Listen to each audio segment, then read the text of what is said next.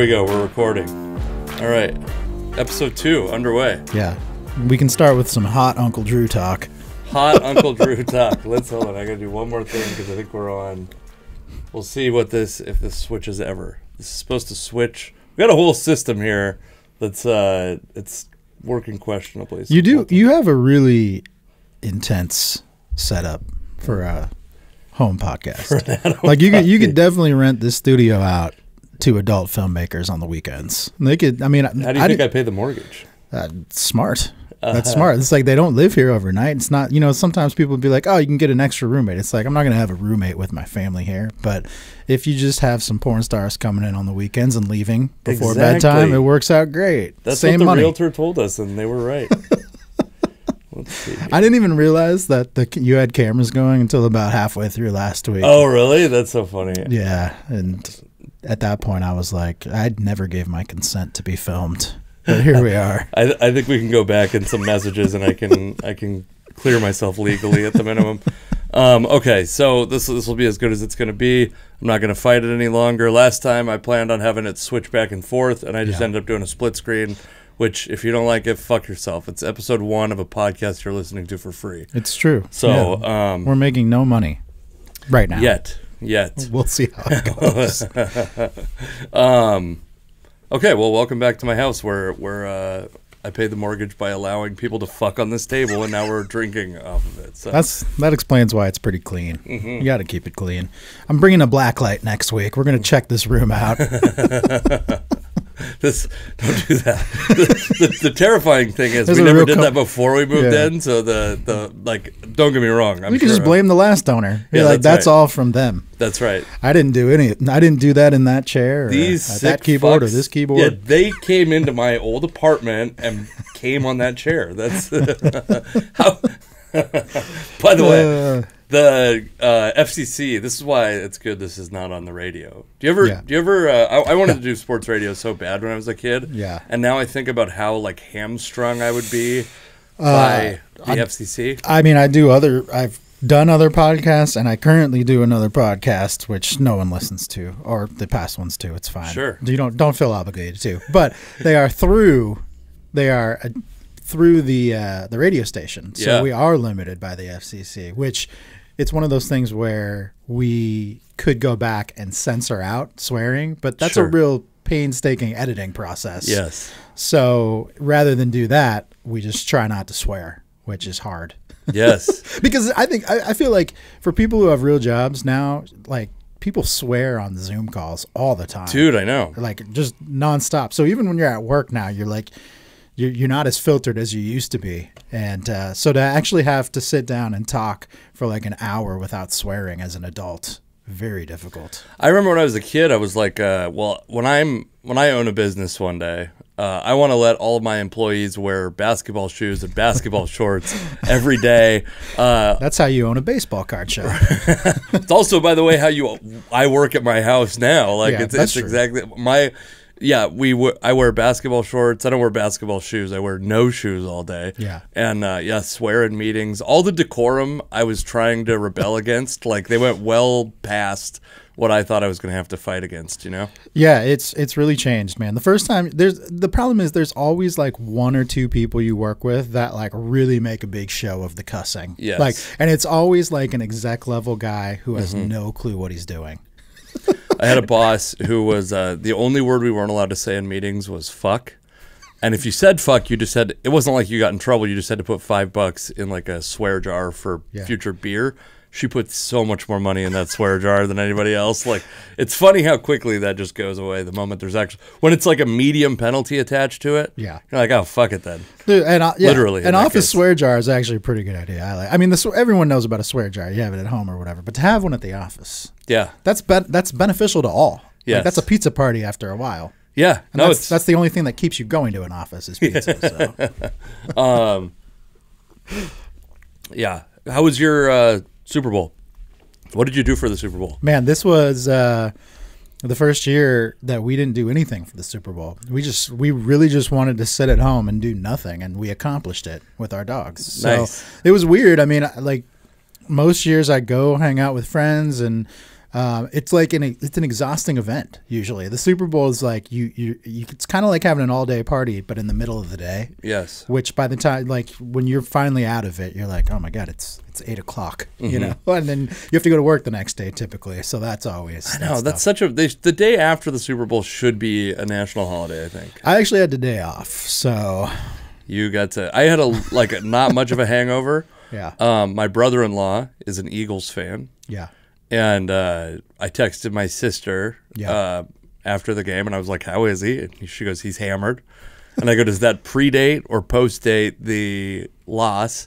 And she goes, "It predates the loss, but it came or no, what it uh, it came before the loss, Yeah. but immediately after the Eagles lost the lead."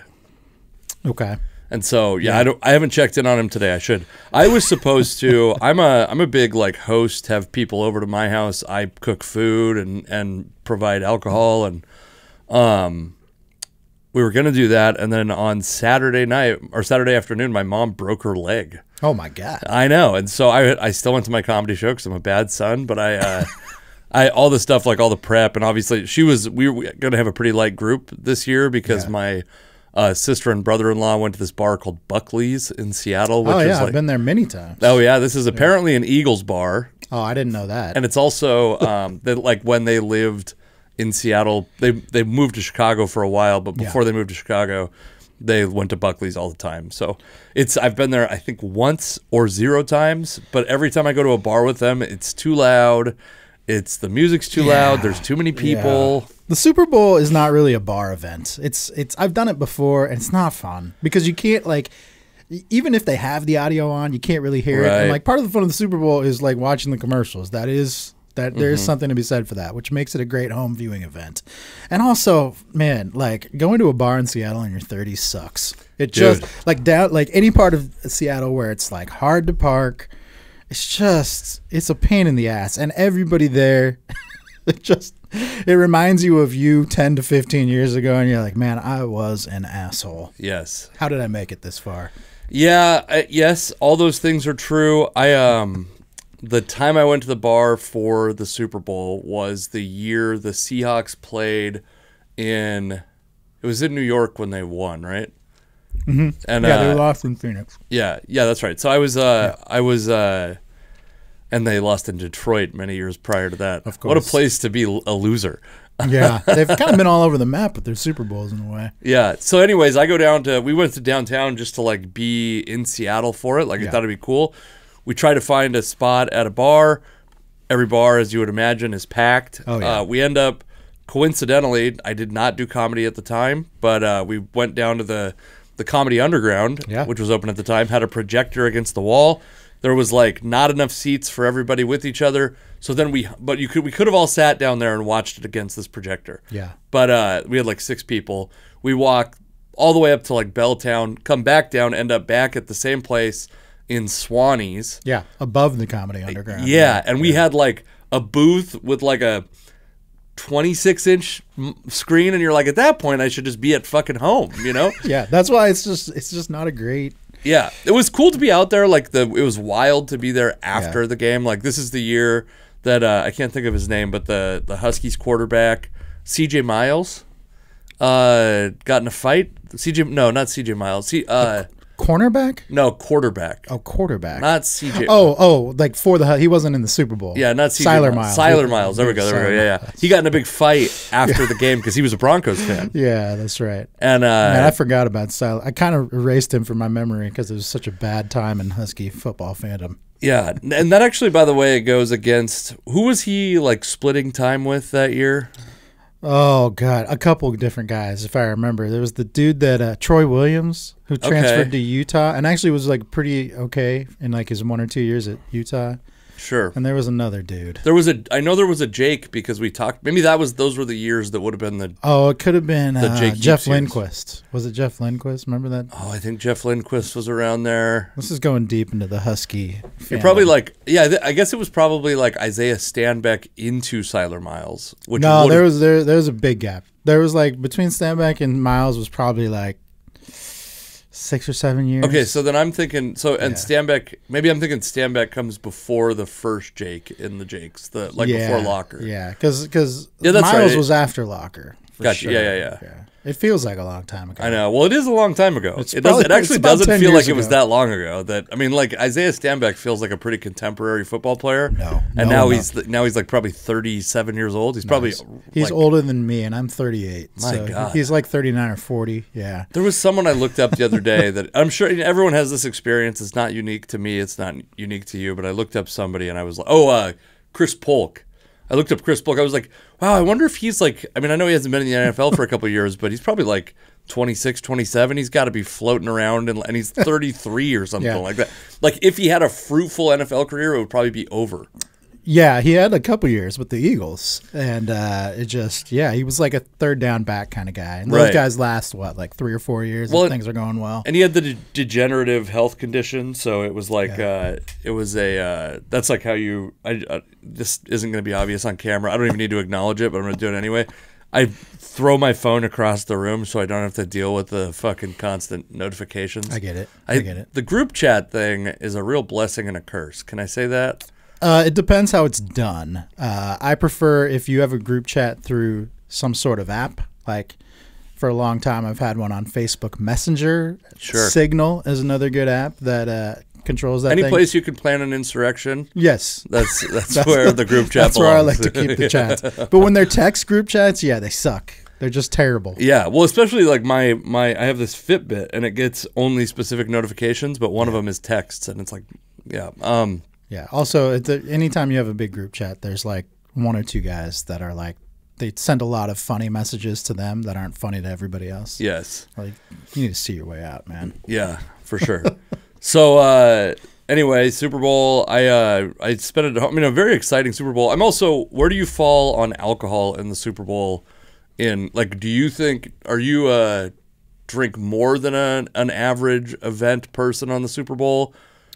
Uh, yes, I guess because I had a drink yesterday. I, mean, I guess typically at a like Am I social. breaking you out of sobriety? Is this what's happening? yeah, Are until last week wagon? I was seven years sober, and look what you did.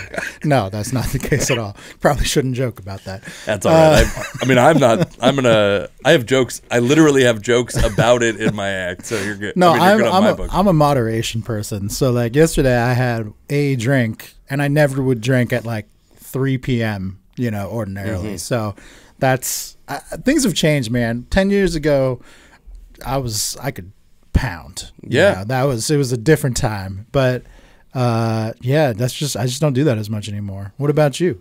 I'm. Uh, I try to not bundle my things I like. Yeah. With with each other because I find that like, to me, this is unpopular, but I think alcohol and live sports are lesser than the sum of their parts. Okay. I like them both a lot separate from each other. But when it's like when I'm at a game, I start being like, ah, fuck, I kind of want another beer. And then I'm thinking about the beer and not the game that's going on in front of me. You know what I mean? And it's like I just, or some, or I'm paying fourteen dollars for the beer, and that's annoying. Like there's Yeah. annoying shit attached to it that uh, it's funny because like, can you imagine? I've I've bought some beer that's pretty expensive in my life. Yeah. Um, no way. I don't believe it. but I I've always rationalized it. You tell people like th- I bought a thirty-eight dollar beer. That's the most expensive beer I've ever bought. But you're like, if someone was like, I bought a thirty-eight dollar bottle of champagne or wine, you wouldn't be like, whoa. I know you're- it's it is it does it's a different stigma with beer for sure because Yeah. beer is like it's a little rougher around the edges. Every, Right. All the other like liquor or champagne, wine, that all feels more refined somehow. But Even I like though- ch- I like champagne. I I, I know that was the that was actually a surprising thing to find out that you drink. I like, drink the Kirkland Costco Signature Prosecco. Prosecco. Oh man, I love it. I How drink do- that at home. That's like the only thing I drink at home, man. How do you? uh My question is, how do you drink one then? Because you can't reseal that bottle, can you? I have a Oh my god! I have this you- heavy metal stopper, but it's this metal stopper. Literally, it it was like a, a Christmas tree. Like it's for like a holiday stopper. And Mm-hmm. my mom gave it to me a few years ago, and it's like really cheap. It's like it's like probably like a dollar stopper or something. And I like just twisted the Christmas tree off because it was like so big that it wouldn't fit in my fridge door, right? Like it would just it would block the door Yeah. from closing. So I was like, okay, I, I twisted that off. But the the remaining metal part is pretty heavy. So if you stick that in a champagne bottle, it'll actually keep those bubbles fresh for two or three days. It's great. So like, Wow. yeah, I will. I'll I'll get one of those seven dollar bottles from Costco and uh, pour a drink out. And So this is the other important thing to me to know. Are you pulling out a champagne flute every time you drink champagne? No, we have uh, we have we do have some champagne flutes, but we have the uh, stemless glasses, which are all the all Like the wine rage. glasses. Yeah, Yeah. yeah. I, that's like what everybody has now. Everyone has stemless because a stemmed wine glass is just a pain in everyone's ass. a martini glass, a stemmed wine glass, the worst designs in the history of glassware. that's that's why the stemless is in. So yeah, we got Yeah. that. So I just use that. I've been drinking wine out of whiskey glasses because I think it's like, in, I mean, especially my uh, probably my favorite wine, and I do I do like good red wine, but my favorite wine is the uh, Snoop Dogg Cali Red. it's so fucking good. We'll do an episode. Do you drink red wine? I don't drink. I really don't drink that much red wine. I Okay. will drink it, but Okay. to me, it's like IPAs, which I know at some point you're going to force me to drink. That's also, by the way, we have a segment coming, folks. that's going to be me trying to get. I've a, I have a pretty good track record. My wife, when I started dating her, uh, Coronitas, which not she wouldn't even go for a full Corona. She needed the seven ounce bottle of. Yeah, my my mother in law. size. Yes. My mother-in-law was like a like a blue moon. She'd be like, "That's like a heavy, crazy beer. oh God, what a terrible beer! It's a bad beer." It's very bad. Um, but they're both like double IPAs, as hoppy as you can go. Yeah. It's not that I think I don't think you're gonna like every IPA. I think that's the thing. I'm not. No, I will like no IPA. I, I don't think that's true. I think we'll get you. I think we'll get you because they're very different from each other. Uh, no, that I, look. People who like IPAs. Have you ever liked orange juice in your life? Yeah, I love orange juice. Okay, I we're gonna that- get you then. It's over. It's yeah, the fucking. no, it's over. You're gonna be an. IPA guy. It's to me, it's the bitterness, really. Sure. Is We'll get you there, IPAs, red wine. People who really like them, like I get it. I understand why you do. It's just the taste for whatever reason they don't resonate with me. Like uh, just any red wine, people would be like, "This is a great red wine." I don't feel like it tastes like the shitty red wine you just gave me. But. Oh, yeah. but with whiskey, I mean, we sit here and drink the whiskey, and so like I I, I can empathize Mm-hmm. with the red wine and IPA people, but uh, it's just not my speed. This is more my speed. Yeah. I I uh I don't really like super bitter IPAs either. Yeah. So it's not, it's not it. So I think, but I love IPAs. It's my Yeah. favorite style of beer, and we'll figure it out. We'll get, we'll get. Uh, we were gonna do it on the first one, and then I forgot. Yeah, And then I found out you like whiskey, which is was a nice surprise. Yeah, that's so. much better. We can forget about the IPA. you can just feed me, just feed me the whiskey. Um, the one thing I will say is being a father while I, for, I was making sure that door is closed just because, not even because we're going to say anything crazy. She's been, we, this is the clip from last week. She's been exposed to a lot of horrible shit. I just don't want her to wake up. Go to fucking sleep, kid. Um, and you've come, we've started this podcast, both women that live in my house have been asleep both times you've arrived. So Yeah, I don't know As that far as there's you know- actually anyone who lives here with you. You might live alone. I have no idea. As far as you know, I'm Boo Radley, and I've been divorced for five years. like that, that explains why you have the porn stars over here to Mm-hmm, rent out the room on the weekends. gotta pay the mortgage somehow. Uh, you know, you can't. You would not believe what's been done in that chair, Oh, I would. and I what would. that who who that chair has been in. Let me tell you. That's why I'm bringing the black next. We're gonna check this place out first, and maybe like uh, some rags, cleaning rags. We'll see. Yeah, some uh, some uh, gasoline and a couple matches. Really clean this place up. Um, yeah, I was like, it's funny because you're you're like as a parent, you're like in between. Like I gotta. Like trying to be a good dad. Also, like, can you shut the fuck up? I'm trying. Like, the most exciting game in years is on. Like, this is a very good Super Bowl, in my opinion. You could. It was, yeah, Yeah. it was very entertaining. Yeah, I would agree that it was. Uh, you know, as far as Super Bowls go, it was one of the more entertaining ones we've had in the past few years. It's like they didn't have to do. I feel like every year you get to a point in the game where they just start talking about random shit. Like I remember a couple years ago when the Patriots were in it, and Matt Patricia had just been hired to be the Lions head coach, mm-hmm. but he was still coaching the Patriots on the sideline. They just could not shut up about how Matt Patricia was about to be the Detroit Lions head coach. Like, and that turned out to be amazing for the Lions. So I'm glad they devoted all that Great time hire. to it. Yeah, it's good to have that in the annals of, Yeah. uh, like, of I- I announcing I archives. distinctly remember they just kept calling it out because like the game wasn't exciting enough to like say anything else. He, uh, I thought he was going to be good too. By the way, I, there's something about a guy with a beard that really, really uh, makes me believe in him. He looks like he works hard, so Yeah, he looks like he works hard at like a driving a forklift or something like that. I think he shaved, right? This is I don't know. okay. I think he shaved. I have no idea. I haven't Um, kept up on my map. I know he like called. Didn't he call the offense this year? The, yeah, he, be- the Patriots made him their offensive coordinator and went terribly, terribly, just a colossal disaster. Yeah. Hold on, I gotta check my. Now I've now I've uh, given myself anxiety over my daughter. Oh yeah. I have that like uh, the we'll get the don't hack into my. You're gonna see me look at the camera, folks. Don't uh don't hack into the mainframe. You got the baby watching app. yeah. We have a we have a camera in our room. This is this is really what modern day parenting looks like. It's just making It's- sure you have the right apps and the right camera set up, and you're good. And uh, recording a podcast, drinking whiskey after the kid goes to sleep. you know? Yeah, I, I mean, I've seen uh, I've seen some funny clips with my niece, and there's definitely one where she was just in her room, just pounding her head against the wall when she was supposed to be sleeping. Literally pounding her head against the wall when she was supposed to be sleeping. That was hilarious. Yeah. it is rough to be the only person in your house that's interested in actually watching the game. I'll say that. That is tough, yeah, because that's that's not the case in my household. We both Yes. want to watch. Yeah, Yes. My my wife has limited interest. She was interested in uh, the commercials, like that's the cliche of course. halftime. Show I love the commercials cliche. too, so I get it. Yeah, so I but I always have every year except for this year. I basically see none of the commercials because I'm like cooking shit. I got like a you know eight Yeah. pots on the stove and a fucking cauldron in the backyard, and Yeah. you know there's too much going on to really like when the when the game's not on. I'm doing other shit, getting people drinks and stuff. This year was pretty subdued, so I actually saw some commercials. The one that everyone's talking about is the Tubi commercial. Yeah, fuck you guys. Did you? So did you? So this is this is how I don't think anyone else was in the room when I when it happened. Uh, yeah, you definitely needed somebody else in the room. Yeah, I'm gonna turn my headphones up. Would you like your headphones higher at all? Uh, sure, yeah, a little bit. Are these yours? That's perfect. All right. Uh, yeah, that commercial threw everybody off. It's- Yeah. That's that's when you know it's a good commercial. It was stupid. Just- Yeah. But they tricked you into thinking that you.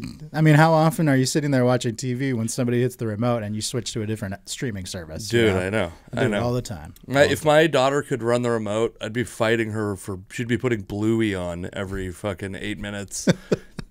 um, did, were there any? What was the other one? There was the the weird one with Maya Rudolph. I remember the like. Oh, the clam M&M one. Yeah, that was wacky. That yeah, it was like that was one that I didn't catch the whole thing. I just like it was like on in the background, and I was like, "What the fuck is going on?" Yeah, there just weren't like. I mean, every year you get they they seem to set a really high bar, but Yeah. they they just weren't that good this year. Like there weren't any ads that just blew you away. Really. The one I thought was a pretty good idea, but I don't. Th- I'm like I'm not sure if I want to give it credit for being fully a good commercial. I thought the Mr. Peanut roast was pretty good in concept. I hate the fact that they're like, go follow this QR code so we don't have to spend more money on ads and show you more roast jokes. Like Yeah, if that would have just been four commercials with different roast jokes every time and they got like progressively meaner or different roasters. Yeah, they should have gone way overboard. Like, Yeah. it- you're right. It was a good idea, but the execution was terrible. It was like completely unfunny, and they had like good people. They had like funny comics. Like Jeff Ross was Yeah, the, the ro- the roast as he is. gen- Yeah, as he tends to. uh, uh, Natasha Leggero, who's like a classic Yeah. roast comic. There were other comics on there. Yeah, I think uh, they wasted their talents. It felt like. what's it actually it's fu- funny too. I, that, my wonder is always, do I like this because I'm a comic? And I look at that and I'm like, Yamaneika Saunders is on there, who's not even a comic that I think everybody. She's actually like huge and doing great. Yeah. But I don't think everybody knows who that is. Jeff Ross, Natasha Leggero are on a whole bunch of stuff. Yamaneika Saunders is very funny, but not incredibly, not that level of fame yet. Yeah. yeah. Um, and I was like, oh, that's that's like this is like a great idea. I the idea of anyone standing up to a TV and scanning the QR code would makes me want to throw a remote at their head. Dude, has anything ever come back like the QR code? Remember like a decade ago when they were like a punchline? Because Yeah. they came out I don't know, 15 years ago, and they were kind of useful for a little while. Like that's they, they kind of corresponded with like the first camera phones, right? Like you get Sure. a camera phone, you want to do everything that it can possibly do. So you see a stupid code, of course you're gonna, because Yeah. you have the, the technology to do it now. But then we quickly realized they meant nothing, Yep. nothing. And then in the last few years, they've just they really can't. I think the pandemic. Well, they, really they were them. they were how every menu was. They're also I now as a comic I have a card that I bring that's like uh, it just has a QR code on the back that goes to like a link Pornhub tree. or- Yeah, it goes to my favorite videos. It's, I have a playlist. It's like a whole thing. I try to get a lot of subscribers on the playlist. I get it. It's like Gene's picks on Seinfeld. Uh, are you Seinfeld enough of a guy? I, to, I I do know Seinfeld, but I don't remember. you don't. Gene's the picks. Gene's picks doesn't doesn't resonate. There's an episode where Elaine is going to the movie store. Yeah. And a guy is uh, Gene Okay. is yeah. making picks and they're like specifically they're like flirting through his picks Yeah. and then she finds out he's like a 16 year old boy that worked worked there um anyway uh yeah but it's like there i would never i've never intentionally unless i'm like at a place that's like our menus on the qr code Yeah. i've never used the qr code because i've been like wow i'm really interested in what Yeah, it's worse. It's definitely worse. Like the restaurants that are still doing QR code menus, like get your shit together, man. It's time. Yeah. Bring back the paper menu. Like if you put a pa- piece of paper in front of me that has everything I can possibly order, I'm not going to get on my phone because it just it's just a pain in the ass. I did enjoy, and I, I I say this without considering all the societal implications, but I did enjoy. That's much every, that's like the disclaimer that should go before this Yes. entire podcast. We, we weren't thinking about anyone but ourselves there when was no society considered when we started talking. when that like sometimes they'll be it'll be like not only the QR code menu but like it's Yeah. some app that you can order from Oh yeah, and The then you don't have to talk to a like a waitress or a waiter. a That server. part's valuable. Yes. Yes, that part's valuable. I will, the other thing I will say, uh, for whatever reason, I go to Red Robin enough that I know this, uh, which I'm not trying to brag or anything. Look, this guy has fucking Red Robin on a regular basis, funny. But Red Robin's got those little electronic kiosks, which a lot of like mid-level family style Yeah. restaurants have now. Those kiosks are nice because how often do you see your server at Red Robin?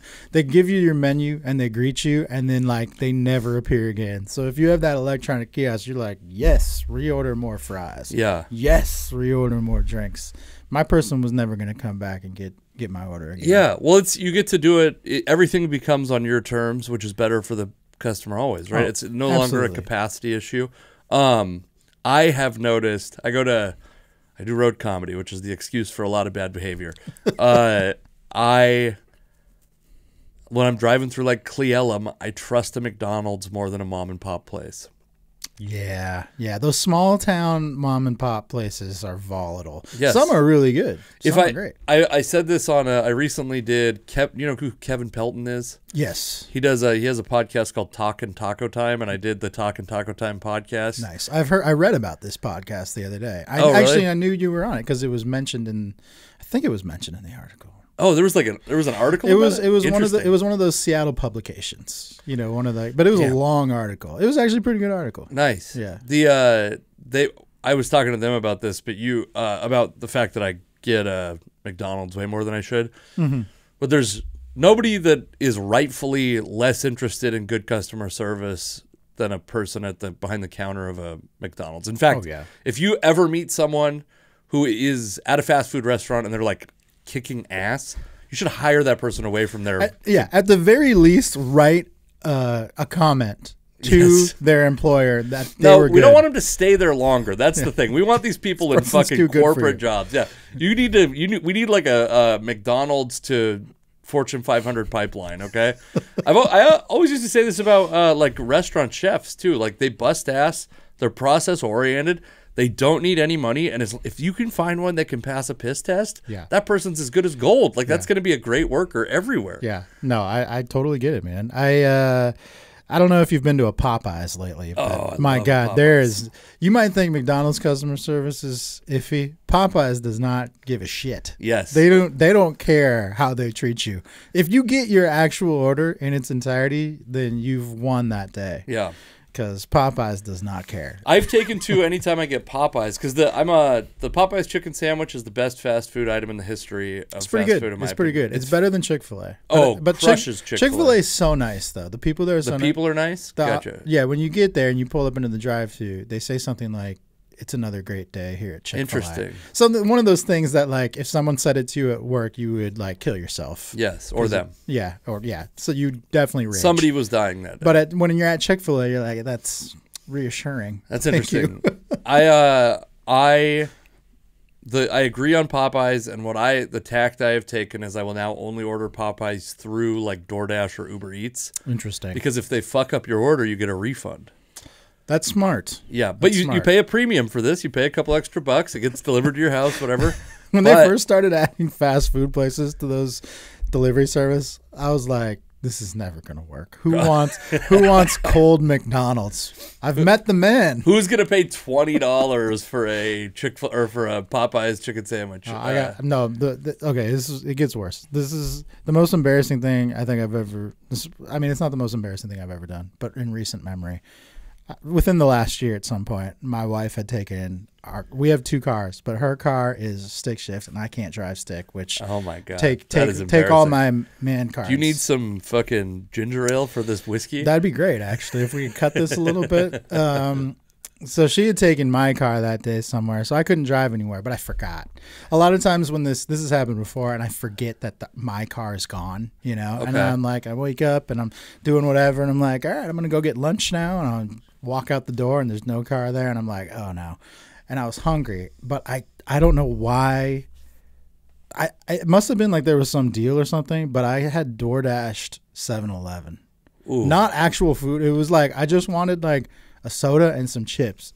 ooh, that's rough. Without without bad, alcohol to blame for that, that's was bad. This is middle of the day. It was bad. I was even as I was as I was doing it and the- after I was doing it, I felt guilty. Let me ask you this, because this is something I'm afflicted with. Is I like a discount. I don't like to pay full price. I hate paying fees for stuff that I don't get anything out of. Yeah, Right. I, I get it. So whenever I order from DoorDash or Uber Eats, I just it's like twelve bucks or more. You don't get the the small bag fee. okay. And so I will just make sure, even if I'm not going to eat it all, I just hate the idea of them getting, of DoorDash getting $2.50 extra Yeah. when I could be giving that money, some part of, part of it to fucking Popeyes. Or that sounds, the, that's the altruistic way to describe it. The real, the reality is when I could be stuffing it in my fucking face. Um, did you, did you meet the, did you like reach a minimum at any point with, because chips and soda are going to Yeah, get you yeah. to like what No, six the, bucks. The value was not there for sure. I think I ended up ordering like double of everything. You start- because because, because I was. That's the perfect, exactly what I was hoping for. because I was like, I have to get to this point where the value becomes worth it. Yes. Where all these additional fees and costs become worth it. But again, there was some sort of deal that prompted me to do this. It was one of those things where I like went onto the app and you know, this will happen sometimes. I very rarely use food delivery services at all. Like I'm the type of person that wants to go run the errand. Like I want to leave the house and come back. Gotcha. So to not be able to do that this day, like obviously messed with my mind, and I ordered from 7-Eleven. But something prompted me to do it, and uh, yeah, I just got like two of everything, and I was like, all right, now the uh, the the axis, it all the supply and demand, the economics of it all works out now. The value proposition was good. yeah, Finally. Wow. finally. It- but yeah, you can't just like be like, yeah, I want a soda from 7-Eleven, bring it to me. That won't work. Well, you can. It just costs fifteen bucks, Yeah, or you could for fifteen bucks get eight sodas or whatever. Yeah, it's Yeah. it's tough. That's uh that that's very funny. I do that. I do that too. Where I'm like, I I'll just order some like chicken uh those like chicken nuggets at uh at Popeyes. Yeah. because that'll fill out. That'll get me to the twelve dollar minimum. And then I'm like, I won't eat them though. I'll just you know I'll eat a couple and throw them away. Yeah, right. And I fucking the only thing I don't eat is like the crumbs on the bottom of the. I'm like, oh yeah, I'm, I'm really restraining Yeah, I mean, myself. the only thing worse than uh, having delivery Popeyes is having reheated delivery Popeyes. So yeah, Is there a fast food that like even works reheated? I mean, if you if you consider pizza fast food, sure. Yeah. But I don't consider pizza fast food. It's not fast. It does get delivered. Yeah. But like if you sit down at a pizza place and get a pizza cooked for you, it's not fast. right. No, it's never fast uh, unless it's yeah Little Caesars, but that's Little Caesars is fast food. I've had I've had next day Little Caesars before. I think I see sparks coming off the pizza. It's Yeah, like it's got, it's got like heavy metals in it. It's the kind of thing that if you had like Little Caesars in the fridge from the day before, and someone broke into your house at that moment, and you took out a slice of pizza and chucked it at them, it would kill them. on Yeah. impact, and then everything would be fine. Yeah. Yeah, no, but no, you're right. Pizza doesn't really count. Man, I there are not too many like French fries. It's just never gonna work. It'll It's never always work. bad. It's always bad. Don't do that. I would even argue that pizza isn't great unless you go through painstaking processes. Like what I have to, what I do to make it acceptable is I heat up a cast iron pan to like low medium, and then you're like, I could have just fucking baked the whole pizza at this point. I'll tell you a pizza reheat trick in just a second, but I will say that I'm a cold pizza person. I don't I don't heat it back up. I actually pr- like it cold. I think it's pretty good. How picky are you about the pizza in its like, in its uh, original state?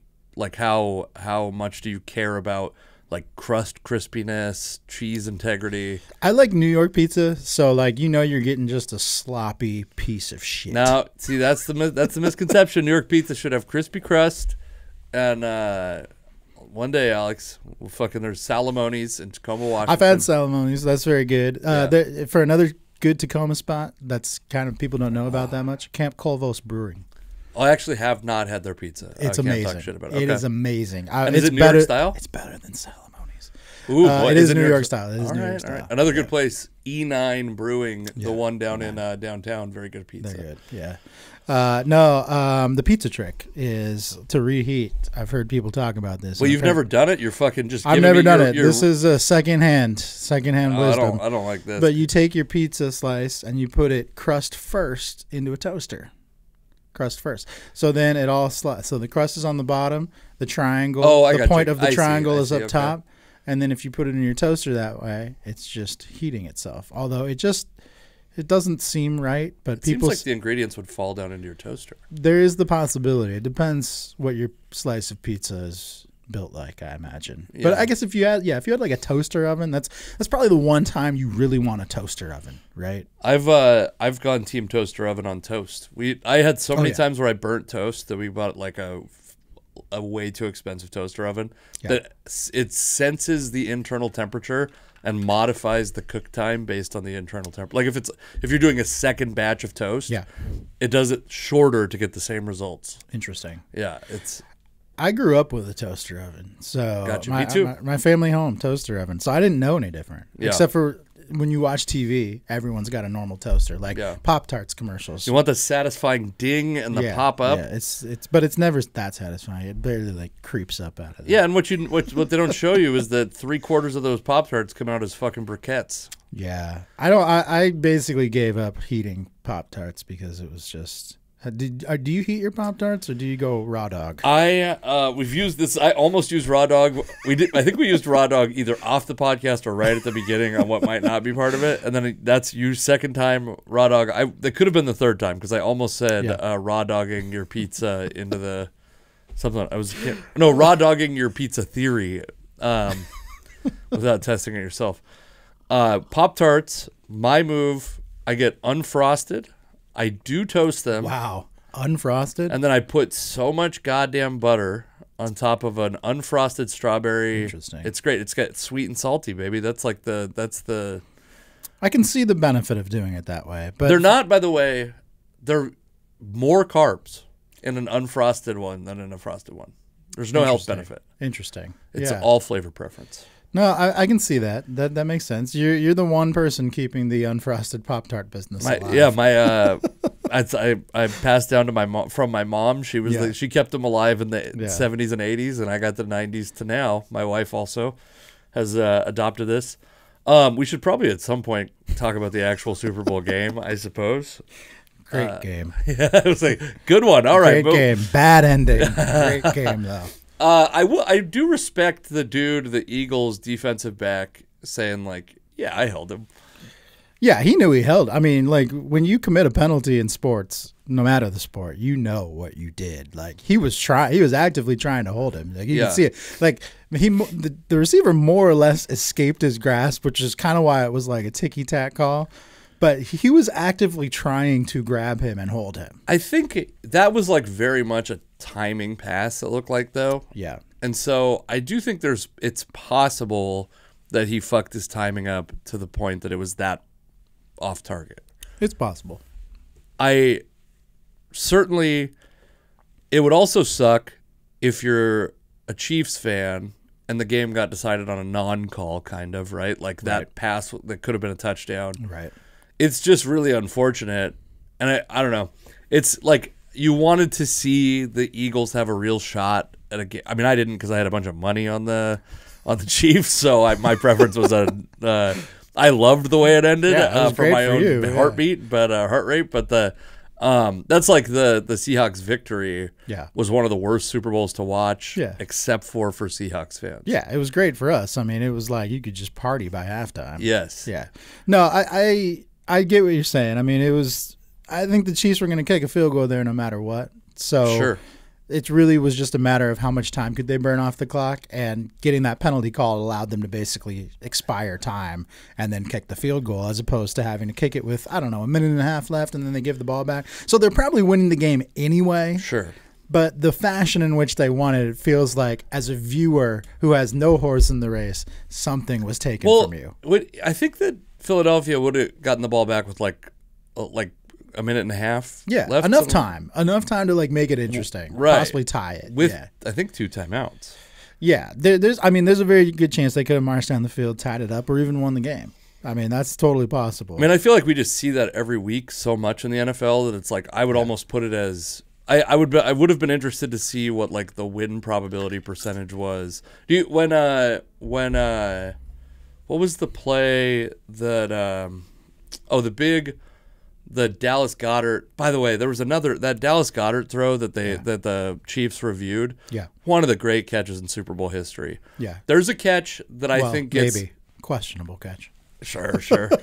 that well, I thought I actually thought like they did. I thought the Devonta uh, Smith, uh, Devonte, Devon, Devonte, Devontae, but I, in in our house we call him Devonta. Gotcha. Just, but that's just for fun. I like a Slim Reaper. It's pretty sweet. That's He's very skinny. yeah. I've I've heard people call him that. Um, he that catch was like the spirit of a catch. It was Yeah. a catch. I do think they got the call right. yeah, I think they got the Dallas Goedert one right personally. yeah.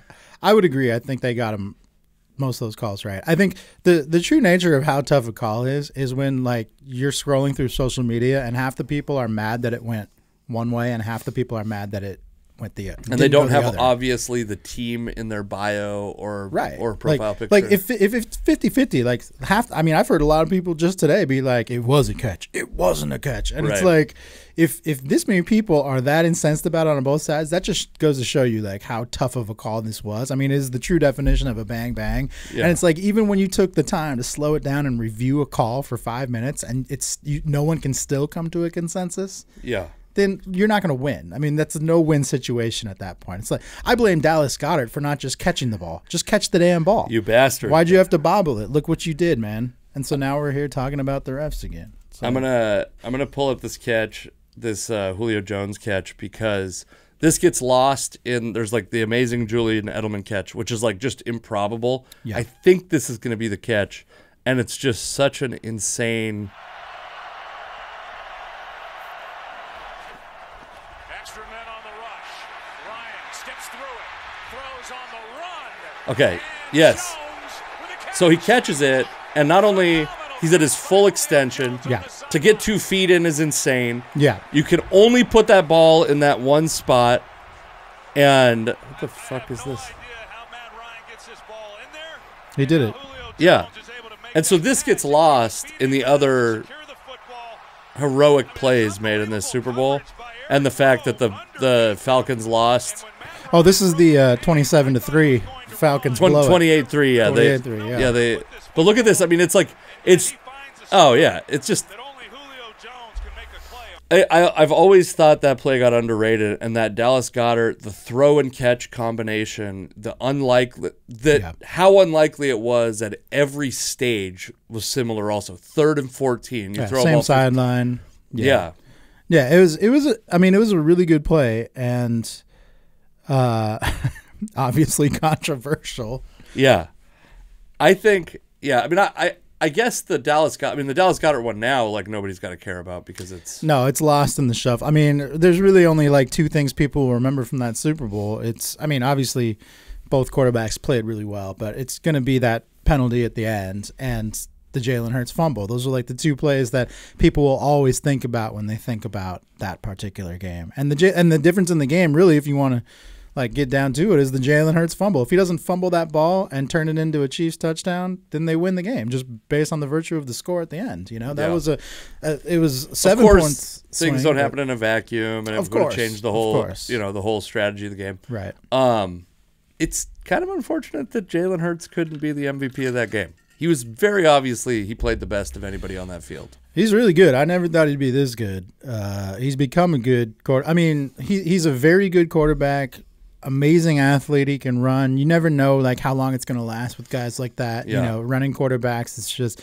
It seems like he's become a really good passer this year. So you know, maybe they do like what the Seahawks once did with Russell Wilson and like kind of keep him from running as much in the future. But right now, he's just such a weapon with his legs that you have to, you have to let him run. The thing about that is, and I think people will start making that comparison with him and Lamar Jackson, is when Russell Wilson came out, he was considered. They everyone said on arm talent, if this dude was six two, he'd be the number one pick in the Yeah. draft. No question, he'd be picked over Andrew Luck. Yeah. And because he's five ten, he wasn't, and nobody said that about Jalen Hurts. Yeah. Nobody said that. I mean, they thought. I remember Jalen Hurts. They thought was going to be a wildcat guy, and Yeah. Lamar Jackson. They thought was going to be a receiver. Yeah, I mean, I watched Jalen Hurts play a lot in college, and he sucked throwing the football. Right. He got benched in the championship game. he was a terrible rightful, like, rightfully. Yeah. He did like Nick Saban made the right call. I mean, he was a he was a true game manager in college because Alabama the sur- the supporting cast was so good that you could just let Jalen Hurts go out there and either hand the ball off or throw these little screen passes all day long, and you were still going to beat your opponent by three scores at least. You know, Yeah. like that's just what was going to happen. And to to see that guy get to the NFL. And actually flourish as a passer is like that's just that doesn't usually happen. Yeah. it doesn't usually happen in football. You don't To be an MVP candidate Yeah, I mean he is, and to and duel very closely the MVP. Yeah, I mean the difference really it's it's kind of poetic in a way that the difference in that game is Hurts fumble because really when it comes down to it, like pressure is yeah, happening right now. seven years. Slow, slowly, I'll just get you to drink a little more on each of these podcasts, and then we'll be after you'll have a real problem. Once again, your seven years will turn into seven years in prison. Uh, at no, I will say for the record, at no point have I ever been sober. So, uh, no, I mean the difference in that game, the difference you see with a guy like Jalen Hurts, who's a very talented quarterback, versus a guy like Patrick Mahomes, who's you know at this point probably one of the top five greatest quarterbacks ever. yeah, is the flawlessness that a guy like Mahomes plays the game. Like he's not all like not every play is gonna wow you. Like there were so many times where Jalen Hurts his play would wow you. And like another good example of a quarterback like that is Kyler Murray. Kyler Murray is a guy that like when you watch him play, he will show up on top plays on ESPN by the end of the night. Like he's a highlight reel. But what separates him from the great quarterbacks is like their attention to detail and execution. Mm-hmm. Like Patrick Mahomes does not fuck up. Tom Brady does not fuck up. Like that's they do every now and then, but it not it, it never really bites them. And in the big games, they don't screw up. For Jalen Hurts to just fumble the football in a situation where no one hits him, he just Right. drops the football. Like that's not what the great quarterbacks do. And that's probably the next step for him is like, hey, you got to like just clean up those little things, and mm-hmm. then you'll be you'll be at that level. It sucks that it's like he now gets scrutinized as a Super Bowl loser. I've always said this about LeBron. I think it's true of Brady. The the like arguments I saw. Um, fuck, who was the guy? Uh, someone said like, is Tom Brady the best? Well, he's not the best regular season quarterback, and he's not the best Super Bowl quarterback. And I'm like. Okay, that's if you penalize him for bringing shitty teams to the Super Bowl. That's like LeBron. Yeah. They're like, oh, LeBron, you know, Michael Jordan's undefeated in the finals. It's like, yeah, because he didn't get to the finals when he had dog shit teams. Yeah. you're just mad because LeBron bought a bu- brought a bunch of fucking bums to the to the finals every year, and also like, I mean, he's annoying in a bunch of ways, but like the he and and uh, some of that team building stuff you can't even obviously take off of his Yeah. plate because he's a, he has such a hand in how the team gets built, but it's uh yeah, I mean Jalen Hurts. It sucks that his career now is like he's got to like. We're even talking about a guy cleaning things up. Yeah. Where it's like, if if he didn't make it there and lose on that stage. Yeah. If this if Trey Lance was healthy, he goes to the Super Bowl, does those things. We're not thinking those things about Jalen Hurts. We're Yeah. saying them about Trey Lance, right? Yeah. And uh, it's like it's like the we penalize someone for coming in second sometimes more than for coming in 19th. Dude, I've been in the same fantasy football league for almost 20 years. I've been to uh, four championships and I've lost all four. So You're trust the Buffalo me. Bills of that league. I literally, it's a punchline at this point. So I know exactly what you mean. Once you get labeled like you get labeled as a loser, even though you made it as far as you possibly could go before Yeah. losing. It's an unfortunate. Uh, it's like uh, you know, people always used to talk about uh, Karl Malone and John Stockton never winning a championship, and it's you know, it's really just because they were in the era of Michael Jordan. Like that's Yeah. that's the thing that really cost them is they just could never get over that hump with well, teams those, like that. that they a lot of people think that 95-96 Sonics team is like a top 20 team ever. They just were playing against like a top 5 or the top team in the history of basketball. It's always tough when that happens when there's not like a runaway, not a runaway winner that just dominates teams. I mean, I guess in that case there was. It was the Chicago Bulls, but you well, know, but not, but not. Oh yeah, that year there was, but and then like even the years before that, it's like the the they lose to Denver in the first ever one eight yeah, knockout. I mean, the most unlikely. yeah. The Rockets win both those those finals that that the that Yeah. Michaels. The Rockets don't get enough credit for like building a super team during that era. Sure. Like, they definitely built a super team Because that's like what it was. Cassell, Elijah, Drexler was. Horry was on those teams, I believe. Yeah, and then like later on they they added uh they added Charles Barkley like in Yeah. '95, and it's like they had they were stacked. No, Yeah. like people always talk about those two Rockets teams like they were just forgettable because Michael Jordan wasn't in the NBA, which is true. I mean, in a lot of ways, it's like well, the best player on the planet wasn't playing at that time because he took a break, which is. But I don't know that he would have necessarily beat those teams. Those might have been teams that were equipped to actually beat him. Well, it's also the other thing people forget is we talk a lot about Sam Bowie, but Hakeem, we don't talk about Hakeem Olajuwon getting picked before Michael Jordan because Hakeem Olajuwon was one of the best centers in the history of basketball. Yeah, I, I have a book that I read a long time ago now, probably like 10 years ago, that I found at a bookstore that was just strictly on that draft. Oh man, The Jordan, the, the you know, it goes Olajuwon, then Bowie, then Jordan, and then a bunch of other random guys. There was actually like, it was a pretty good draft class. But it's fascinating to just read about how that all unfolds. I mean, Akeem Olajuwon, like in any other year, he's the a great number one pick, and he was. He was a great number. He's a Hall of Fame basketball player. He's a great number one pick that year or any year. Yeah. It just so happens that the greatest player ever in most people's minds was the number. well, at least the greatest player to the to the that point. Like Oh, for sure. you didn't have an option to pick LeBron in that Yeah. draft or whoever. Yeah, I mean it's just a different game. I mean back then everybody was just drafting centers. You know. I so I want to talk about basketball in a little bit, but I want to Sure. I want to cap off the Super Bowl thing. Do you think Patrick Mahomes is actually injured? Because if you, I'm sure you've seen the conspiracy theories Yeah, that yeah. he's faking it. And what's interesting is like I get the gamesmanship thing, where maybe there's something you can gain from the other team thinking like they're not going to respect your ability to run. And we did see him like decide, uh, you know, a couple huge plays Yeah. end up being Patrick Mahomes. I made a I made a comparison. There's been a lot of uh, comparisons made how Patrick Mahomes runs. I think this one's pretty good that I made on Twitter, which is uh, he runs like he's running through his living room and his kids left Legos on the floor. uh, like he doesn't. It's all like almost like he doesn't lift his feet. It's like real Yeah, strange. he runs weird. He definitely runs a little derpy, and he, he runs like he talks. like it's just very unexpected. Uh, no, I, I, you know, I think with any athlete, not just pro athletes, but like if you're a person that is athletic your whole life and plays like real sports, organized sports, there's a difference.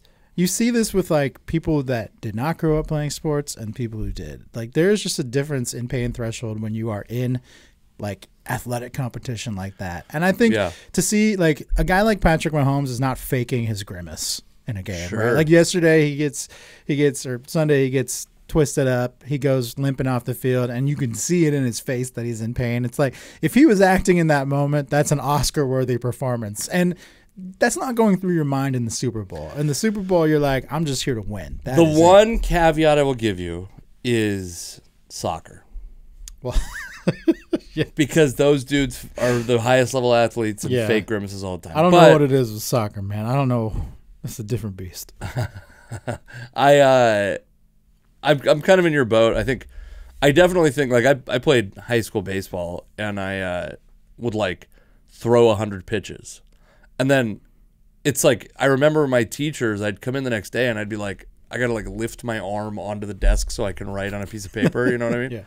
And they'd be like, "Are you even? Is that even like legal?" And I'm like, "It's like every, you know, you should see the next week's pitcher or whatever the next game's pitcher. He's going to be just as fucked up, or the other team's pitcher, I'm sure, is doing the same shit. Like the, um, yeah, and that's like, I mean, that's obviously like a, a very different Yeah. uh, injury threshold or whatever than than uh, Mahomes or than any NFL But, quarterback. but it's a good example. I mean, I, I remember growing up playing sports all the time. When you're playing, it doesn't hurt. It's when Right. you, it's the next day or it's after you're done. Like when the adrenaline goes down and you stop, you're like, oh, that doesn't feel great. But when you're actually going through it, you just continue. Like that's just what you're used to doing. You just Yeah. you want to play, so you're gonna keep playing. Like until someone has to literally like force you from playing, you're just gonna keep playing. That's just what you do. And Yeah. and you you know it's different. You think oh these guys are adults now. Like we we think of the if you're an adult, you think of them as like your contemporary, your peer. But you got to remember like professional athletes are basically just grown up children. I mean, they're just large children because they've just been funneled through this into like their entire lives have been funneled to this moment where they've just been guided by somebody else and all Sure. they know all they know is that they keep playing until they physically cannot. Mm-hmm. That's really just how sports goes. So, yeah, I don't think uh, those conspiracy theorists are up there with the same people who think Damar Hamlin's body double was there. Look at this guy making a segue. It's always makes, Uh. makes it a smooth segue when someone yells about it. So I, I included a couple of YouTube videos. I don't want to watch them because I don't want to give them like. Uh, there's two conspiracies that are giving me. That's crazy. These are the craziest ones. So the Damar Hamlin thing's interesting because people are like, I mean, obviously, and I, you know, we are we are on YouTube, so I'm terrified of using the V word, and getting us into. But they think that the V word killed him. That the NFL and- Vaginas? yes, vagina. The vaginas killed Damar Hamlin. the government issued vaginas killed the, Damar Hamlin. That he uh, a body double is now in his place. Like the movie Dave. what? Well, my favorite one is it's not just the body double one is like, well, that's silly. But then you hear about like you know how many Saddam Hussein body doubles were there, how many fucking there there's there is like these are persistent theories like how many Bidens are there out there? Oh, they they released a new Biden. Have you He's, seen those? he's like the class hamster. Yeah. Like, I'm not dead. Yeah. He's still here. yeah the um yeah it's Stewie six like the we we put our sixth hamster with the same name. Uh, I the one that gets me and and this is like kind of brings back the fun conspiracy theories to Yeah. me. Conspiracy theories used to be so fun and innocent. They were before the internet, especially. But Yeah, I even remember, in the like- infancy of the internet, they are fine. it's crazy that you're like I think for a long time I thought that we didn't land on the moon and the Tupac was still alive. And now what I'll tell you is I don't think people uh, really want to accept whether or not like I think there's like more attached to it. Yeah. It also always somehow turns around and ends up on the Jews somehow. It always is the Jews like somehow like Tupac his it's they going to do be the Jews' fault. They, every conspiracy theory, like if you go far enough down the rabbit hole, it just it all stems from like racism. yes. That's basically what it is. It's like, or you know, just if religion or whatever. This is somebody who hates somebody else, and you're like, okay, well, that's not good. So the so the the Tupac and the moon landing, in my opinion, were both uh, innocent enough. I think there's probably with the moon landing, you could get into some sort of like um, uh, what's that shit called, like international relations or whatever. Yeah, The yeah. like what I mean, it's bad for whatever. I don't. I actually like. I had an interesting conversation with my in-laws about it because I have no like. I wasn't born when it happened, so I don't. I don't have any like emotional attachment to the moon landing. been, I would. Yeah, I mean, it'd be wild. it's the only age where you'd be like, wow, you look pretty good for 70. uh, the, but like, I'm not, they're- have like American pride attached to this. And I'm sure my parents do. I just don't, Yeah. we don't have the, like that kind of relationship where we talk. I mean, look, I guess the one I Shout out to my mom recovering from the broken leg, by the way. You're, I hope you're feeling better. I'm bringing you some chicken tomorrow. So like back then people just believed everything they saw on TV because what other truth did they have? Like Right. they just didn't have anything else that would question that. Yeah. I also, I guess I don't, I never saw the harm and kind of, well, I kind of still don't see the harm. And like, if we tricked the Russians into thinking we landed on the moon, that's fucking awesome. Like, That'd what- be pretty great. Yeah, Yeah. They have, they have no idea. yeah. And then the Tupac one feels completely innocent. Like the, the, uh, and I, I'm not sure how far you've dug into that, but there's like, Yeah. There's This- like a lot of stuff, like at least symbolism that like points to it. I don't think that. I think he's dead. Okay, I think he's dead. I mean, every generation has one. There was Elvis. You know, I, I mean, even growing up as a kid, you go to the supermarket, all the National Enquirer type magazines, Yes. they always would talk about Elvis still being alive. And- Weekly World News. Yeah. Him and Bat Boy were Yeah. hanging. and our generation's Elvis was Tupac. yeah. I don't know who the current generation has. There's probably some. I heard a rumor a few years ago about Avril Lavigne.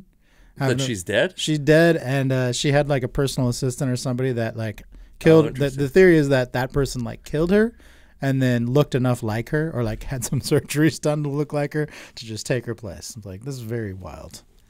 There's a Paul McCartney one. Have you? Are you familiar with that? No, no. I'm God, it's like uh, it's like uh, oh, man, it's like Paul McCartney's dead, and somebody took his spot, and they looked enough like Paul. God, who? Hold on, Yeah, let me. that, that's a common conspiracy theory at this point. I that Paul like. McCartney's dead. No, just anybody like they died and somebody took their spot and they've assumed like all all facets of their like the movie Dave. It's literally the plot. What is the movie Dave?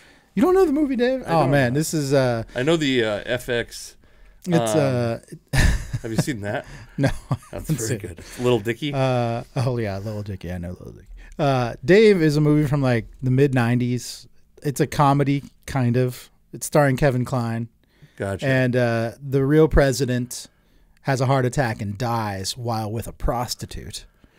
And because it's like an election year or whatever, they just want to continue. They don't want the. They think the vice president is kind of a lame duck, so they find this guy played by Kevin Kline who looks Gotcha. exactly like the current president, and he just replaces him, and does a better job, of course. so this is like literally what they think is happening with Biden all the time.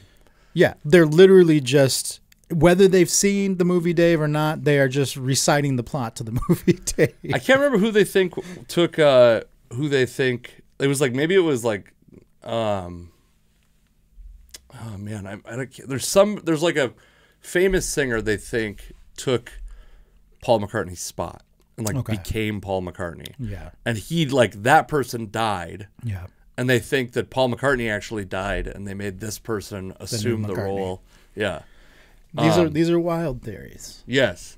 It's the I'd like to see like that one to me again. It's like I have no feelings about the Beatles. Yeah. I would love it if that was true.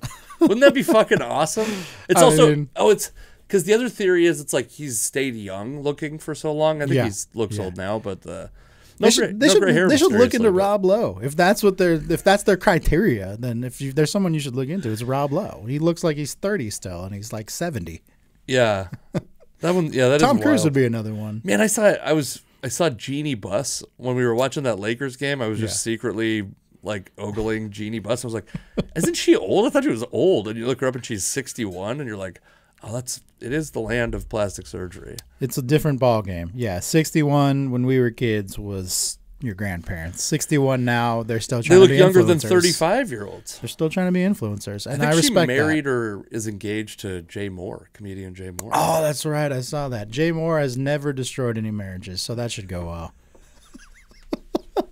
I, I watched the TV show uh, Las Vegas from the early 2000s, which has Nikki Cox as one of its uh, leads. wow.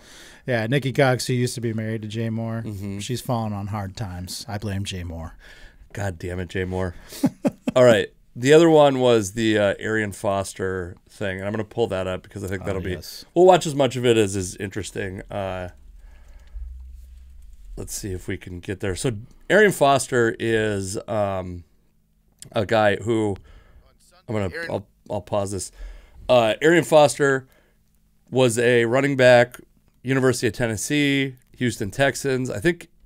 I don't think he played after the Texans. Maybe he played another couple years. Maybe Miami. Did he play in Miami? He might, yeah, he might have bounced around at the end. He was fantasy relevant for a few years. Yeah, he was, and he was. I I think he's very. I remember really admiring him because he came out as a guy in playing football in Texas, previously in Tennessee as a as an atheist, which sa- doesn't sound Yeah. that brave. And I was like, I I just assumed like I'm from Washington. This is like everyone's okay with atheists, and I was down. I was in Houston Yeah. and I was taking an Uber to a comedy show, and I was like talking to this dude who's uh he's like uh Uber driver, black dude, showing me all these HBCUs. We're having like this amazing conversation about society and the way Houston is, how it's different from Washington, all that stuff. And I go, man, the athlete that I respect the most from here is Arian Foster because in Texas, he had the bravery to be an outspoken atheist. And he goes, fuck that dude.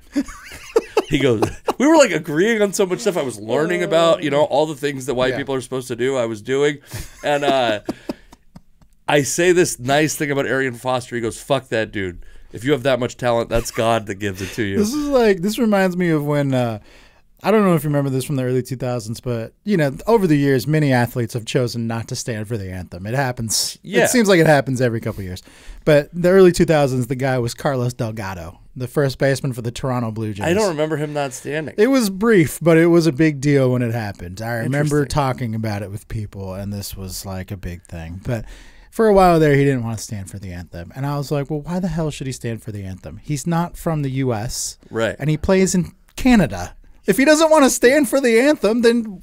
I mean, like any, everybody should have the right to not stand for the anthem if that's what they choose. Yes. But the fact that this guy really, you know, by all accounts, had no allegiance to the U.S. Well, Yeah. like, well his employer is technically Major is he, is he from the Dominican Republic? I think he's he might be from Puerto Rico, which technically would be the U.S. But so he even could have then, I beef. mean, he could even have beef, like legitimate beef with the yeah, U.S. That's we got we got to look this up. Yeah, Where's Carlos Delgado from? Either way, I was like, this is very questionable as to why you think he should stand. he was from Puerto Rico. Yeah, I mean it's a it's like a it's a U.S. territory that the U.S. neglects. Like, I, It's like, why should this guy stand? It's like people get so up in arms about this stuff. It's like, is it hurting you? right. Then don't freak out, man. Yeah, well, I've I mean I've used a lot of uh, vocal cord mileage on on Colin Kaepernick, but uh, what a shame! Like what a shame. I don't you know the the thing is like that dude's probably like a mid tier starter if he comes back. You know he's like not not there was it's not like insane to me that he wouldn't be given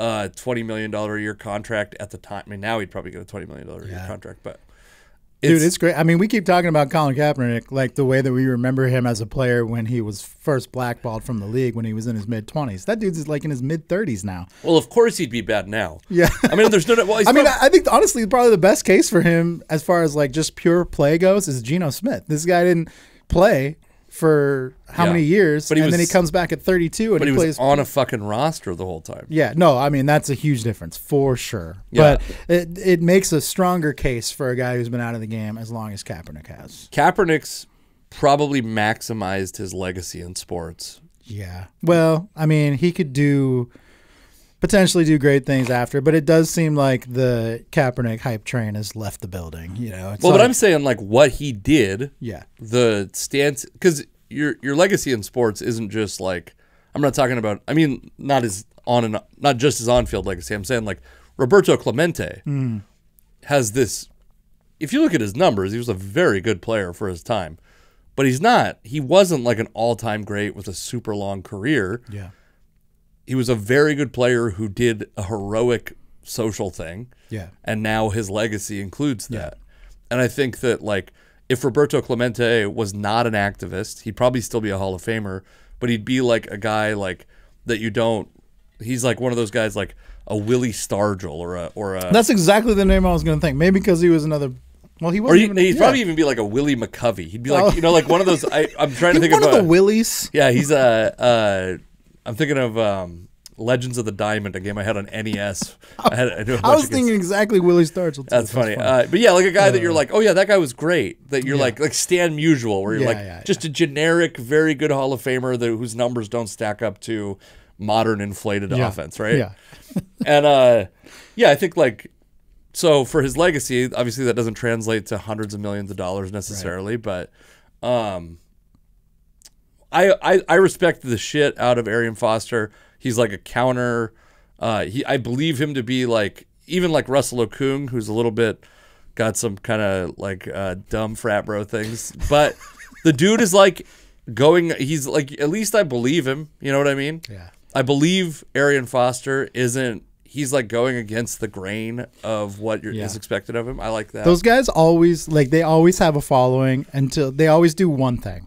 There's always Right. one thing that that fucks. I feel like what. Russell Okung did is just have all of his money in Bitcoin and then lose Yeah. sixty percent of He's it. probably not doing as well financially as he was. He's still doing better ago. than either of us, I'm sure. But yes, I'm sure that it's I mean, you probably, being a comic and a sports fan, you probably remember John Moffitt, the guard for the Seahawks. of course, of course. And that was another guy that people are like, ah, he's different. We love him. Yeah. And then he fell off the deep end. He just did one of those one of those things that you, you occasionally hear about where you're selling ecstasy in a place like everyone who hasn't who among us hasn't been selling ecstasy in a club in Milwaukee. busted for public urination. I mean, no one gets busted for public Listen. urination unless you take the world's longest pee or something. Listen, I'll tell you if uh, if if you got caught every time you pissed in public, Yeah. I'd be I'd have a life sentence. As a comic who's out late, I'm sure it happens all the time. You probably still pee in public.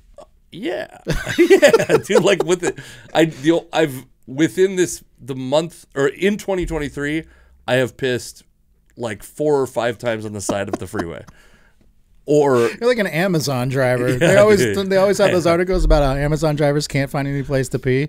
It's like, dude, you're driving around. Just hit up a McDonald's or whatever, man. Like it'll be fine. they're not open when comedy shows get over. That's the problem. I uh, I have a buddy who has a bottle designated in his car, like a it's like a Nalgene bottle. That's right. Wouldn't you get something you could throw away? oh, that's disgusting. But it's because the mouth is wide enough. Apparently, he has like a like a five inch diameter Does he have a cock. tuna can Yeah, penis? dude. the urethra is that big.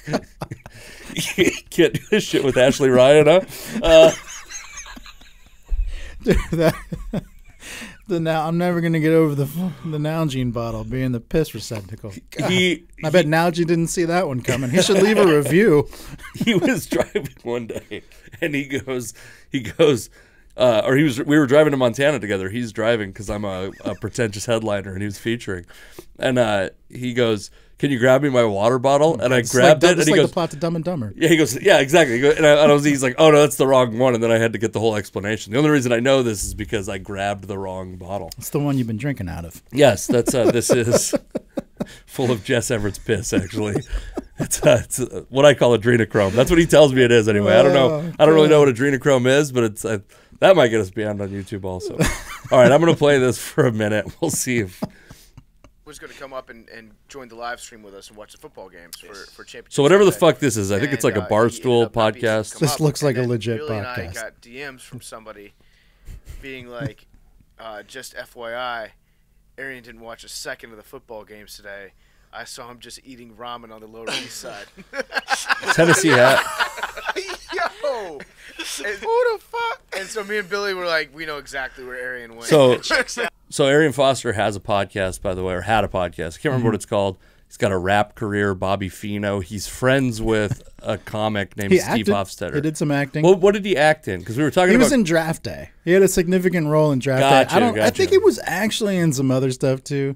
These types of guys, like Kyrie Irving. Kyrie Irving starred in a feature film. Okay, I Kyrie, I think that. Kyrie Irving has lost his marbles and is kind of crazy now. But I will say that having watched Uncle Drew in theaters, Kyrie Irving was better than expected. As was every other basketball player that acted in that movie. Way better than expected. They were pretty I good. think actors suck, and everyone else would make better actors. Comics. Every time you watch a movie where a comic is in it, you're like, God. Even if it's a serious role, you're like, that's a great. He's doing a great job. you know, I really don't like method actors. Like when I watch Daniel Day Lewis, I'm second like, episode talking about method actors.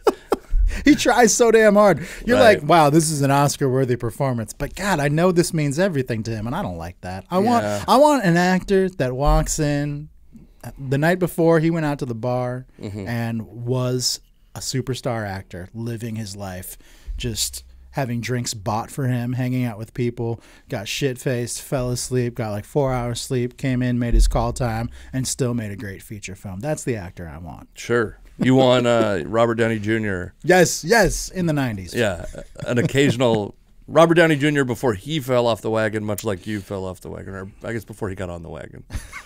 We're going back to it. You are the insensitive person joking about sobriety, not me. We'll make that clear. you went back to the place that I went we right went back on to Wednesday. Mr. Absolutely. what the fuck? right, Y'all- a mind. city full of almost ten. Imagine if you, so you Jesus, just how much ramen talk do we need? I couldn't do it. Yeah, That's It's invasive, man. it's crazy. I get I get I get DMs about Billy all the time God about what damn. he's doing on any given Friday night. It's, it's like a little Batman network. we just saw Billy at a bar. You think hours eating ramen? Jesus, we're still on ramen talk. Ramen. was really boring. Uh, especially when the quarterback went out. I'm like, what, what is this? That game sucked. Yeah, it's just one of the worst. I'm just not in the mood for football. I'm gonna go get some ramen. Yeah, the second game was good.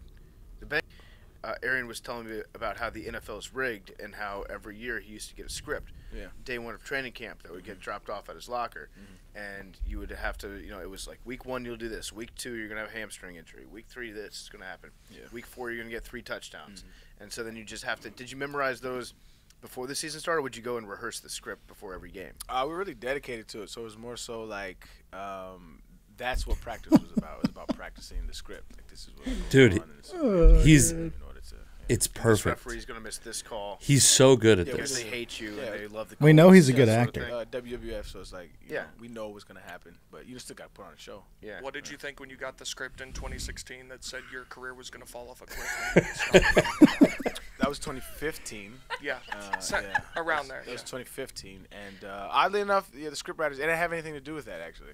Uh, it just had more so to do with um, they needed to change the scenery in Houston. It was time to go. Yeah, it was time to go, so they, they wanted to get everybody out of Houston. That was the ultimate goal. So that that was what that uh, was about. Okay. It, it feels like Arian Foster is fucking with everybody. No, of course he is. That's this is but the fact that you're even questioning it I think is great because it's this is why it's a perfect joke is Yeah. There's like 40% of people who are enough to fuel the tweets about it Yeah. that aren't don't realize it's a joke. It's that's why I'm saying he's so funny. Yeah. To just like immediately he's like an improv. Yeah, he's good. That was Yeah. good. The way that he handled the questions was like, and you can see it. You can see it in his face. Like if you're watching the video, you can kind of see like he's got a little bit of like that sly look. About Yeah, him. he's he's funny and he's already funny and this is like the funniest thing an NFL Yeah. player's ever done. yeah. But it it did fuel a lot of speculation. I mean, there are a lot of people. I mean, hey, th- that's the type of thing that somebody writes about. It gets put online, and then people just see the headline, Right. and then of course they formulate their opinion. This is like when a senator retweets an onion article, like as though it's serious, right? And it doesn't matter. That's like an apolitical thing. Both sides have had fucking politicians get Yeah. duped by a, a satire website, and this is exactly like that.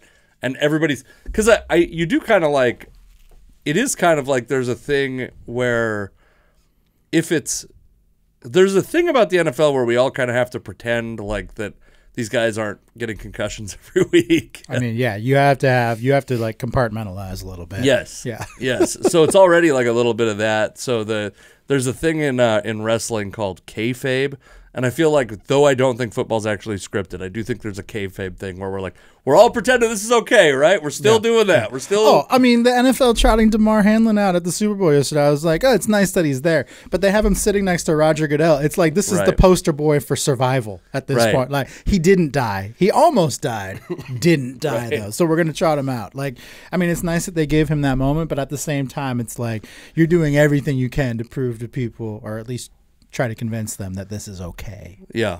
You know. Yeah, it's uh but yeah, shout out to Arian Foster. I, I love Arian Foster. He's one of my favorite athletes ever. You call oh you yeah, you called him the uh the Kyrie Irving of football. Dare. Just because of his acting, that's all. It's because because he's a great actor. He's got he's severely anti-Semitic. Also, he's not. Uh, okay, I want to do. I want to end on this a couple golf things, Okay. which I don't really want to talk about golf a lot because I don't know a ton about. I play golf. I don't know a lot about. Yeah, I have, I by the way. I don't- don't road know. hacks on YouTube. I have for someone who doesn't know anything about golf, like pro golf. I have a golf YouTube channel uh, that people can check out. That's just me playing golf with mostly comedians. Eventually, I'll get you on it. We'll do this. We'll golf on that, film. That'll be interesting. That'll, you, we're not good. we're not good. It's okay. Um, or you don't have to do it. It's also fine. But I want to talk about so Kevin Durant. There's a kind of a crazy trade deadline. The the Yeah. the Nets officially got blown up. At a time, I was like, the Nets are going to be my team until the Sonics come back, and then a couple years later, they don't have any of the players that I like. So Fair. I'm once They're again nobody's team now. Maybe it's uh, never mind. um, Kevin Durant gets traded to the Phoenix Suns. Yeah. and he's had like a career that so he goes from obviously he starts his career in Seattle, plays with the Thunder, comes close to winning a championship there, goes to Golden State, wins a championship there, and then is like mercurial, doesn't want to be, Yeah. uh, wants to like win one on his own. It seems like, and I, and I could be missing some details on this. ends up in uh, in Brooklyn, and now he's in Phoenix. And I just I feel it's the only time I felt lucky to have been a Sonics fan, Sonics specifically, is we have our view of Kevin Durant. I think in Seattle is usually positive. Oh yeah, we're like the only city that probably really likes Kevin Durant. Yeah. He's the he's the perfect example of like live long enough to become the villain. Mm-hmm. Like people don't like him for reasons unknown. Like there's I don't know if there's a great reason to dislike him, but a lot of people dislike him. if he was in Seattle, by now, he would be as hated as Russell Wilson. Yeah. He would be as hated as Alex Rodriguez. He'd be as hated as people felt about Griffey the moments after he left. Obviously, we regained some love for Griffey after a while. And it's, I feel kind of lucky because, like, we get to view, it's like we get him in a time capsule, right? Where we're like, things would have been different. Probably not. He probably would have fucking been just as, as, as, uh, you know, abusive to the fan base or whatever you want to say. Like he would have been just as just as disappointing to the fan base here. I'm sorry, I keep this is rough to be this far apart because I just saw spit fly out of my mouth. Catch it. It's not, we're in HD. Everyone can replay it if they'd like to. But uh, yeah, it's I feel lucky that we get like we just get the positive. We only get it's like uh, you, he like yeah. Yeah. died young. He it's like he died for young. us. Yeah. definitely. And for the rest, I mean, people get so up in arms about. I mean, the, I think the thing that initially turned people on Kevin Durant is he became the guy that like joined a super team. You never want to be. You can form the super team. You can be Steph Curry and form the super team, but you cannot go to join the super team. That that seems to be a definitive line amongst Yeah. NBA fans. And then they just get mad at super teams in general, even though for like the last decade plus, that's the only way to survive in this league is Yeah. to be the super team, really. And it's like, if you're not, then who are you? You're Damian Lillard or you're Donovan Mitchell, and you cannot sell sneakers. You have a signature sneaker, but you cannot sell it. So all these Right. people, they respect the idea of you, but they don't actually support you. Yeah, you're like you're like a uh, a punk rock musician that's has a day job despite ev- you're like every musician's favorite musician. Yeah. And they're collecting million dollar checks and you're working at a coffee shop so Yeah. you can pay for gas to get out to play in fucking Raymond, Yeah. Washington. These these people a- support you with uh I don't even know sentiments. That's Yeah. about it. But they don't actually. You don't win. You don't win much. Right. uh yeah, that's fair. Well, the first super team is probably um I was thinking about this, probably Shaq coming to LA. Is that the first? I mean, and it's Yeah, maybe. I mean, well, he didn't really join anybody. He just came to LA though. Like when he came to LA, is he, did he get there before Kobe did? he got there. This they went there the same year. Okay. But I, I mean, nobody knew what Kobe. Nobody knew was Kobe was he Was, become he was. Yeah, I mean, Kobe. he was. He went there the year that Kobe was drafted. But yeah, I mean, yeah, super teams. I mean, man, I mean, if you think about like the Bulls back in the day, they, I mean, it, it just so happens that they happened to draft two of the best. Well, the Sonics drafted Scottie Pippen, I Sure, guess. yeah, yeah, yeah. But they happened to acquire through the draft two of the greatest players ever. But you could argue that was even a super team. They just didn't go out and sign free agents. Well, I don't think anyone. I don't think anyone begrudges teams for like holding their teams together. It's Yeah. it's the mercenary aspect Yeah. that they that they and that's No, why that's they don't like Kevin Durant and they don't care about Steph Curry because Steph Curry was there. The team got built around him, Right. and Kevin Durant is like latching on. He's he's Yeah. riding the, then the, heat. I mean, the Heat, obviously. you don't get mad at the coattails. You get mad at the riders, right? Yeah, that's true. And I, also like Kevin Durant's probably of all the guys that played on that team is probably like the most gifted player, Yeah. but still is is like the most. I think. Well, I think Draymond Green is disliked more than You can't just go around kicking people in the balls. You can do it once. You can do it once and people will give you a free pass. Everyone gets one free kick in the nuts. But you do it like three or four times and people are like, this is a this is a problem. I'm sensing a th- method acting and ball kicking is going to be the real theme of this podcast as we go forward. It's like jackass in a nutshell.